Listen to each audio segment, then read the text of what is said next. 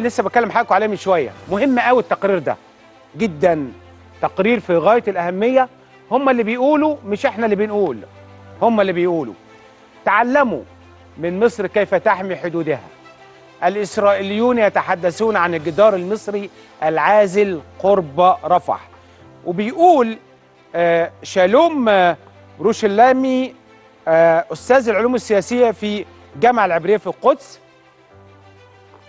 وده طبعا بيقول بيوجه رسالة للحكومة الإسرائيلية بيقول لهم عليكم أن تتعلموا من مصر. وإزاي مصر تحمي أمنها القومي. وقال لهم وقال في محاضرة في مقال كتبه على أحد المواقع الإخبارية الصهيونية إنه مصر بتبني أو بتعمل منطقة كبيرة في سيناء. وقال إنه اللي بتعمله مصر ده في أمر في غاية الأهمية وإنه ده طبعا بتعمل إجراءات عشان تأمن حدودها وتأمن شعبها.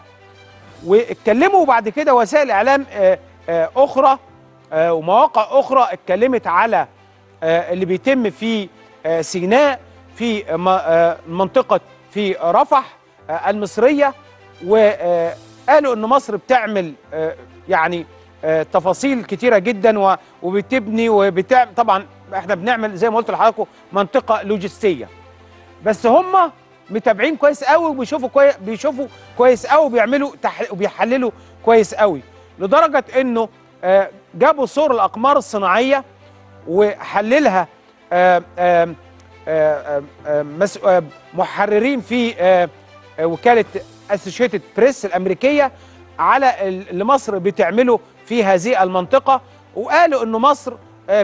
آه نقلت عندها مدرعات وحملات جنود وقوات كبيرة بالقرب من الحدود مع قطاع غزة وقالوا وبيقولوا هو كل ده مصر بتعمله ليه؟